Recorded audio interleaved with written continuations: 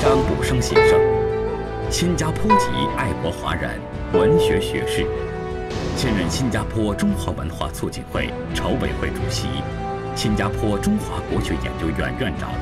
新加坡慈氏国际集团董事局主席兼总编，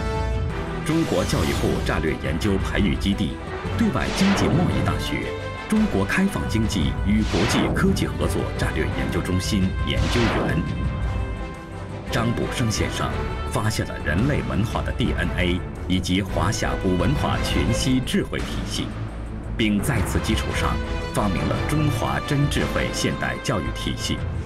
他开创了人类全新智慧学的研究，揭示了全脑科学开发的秘密，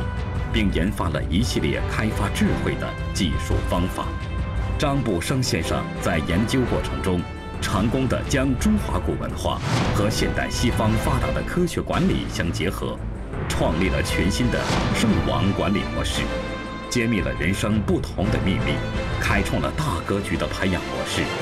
在高度上、广度上、深度上再造人生，揭秘了神秘文化，将宗教文化理性化，帮助宗教文化从神秘中走出来，古为今用。难能可贵的是，张先生将中华真智慧与企业经营管理、人生管理进行了体之于身的实践，利用老子无中生有的智慧，将一个原本产值是零的企业，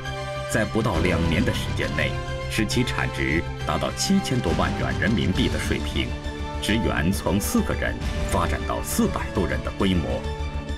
张先生通过实践证明，中华文化。在当今社会是大有用处的。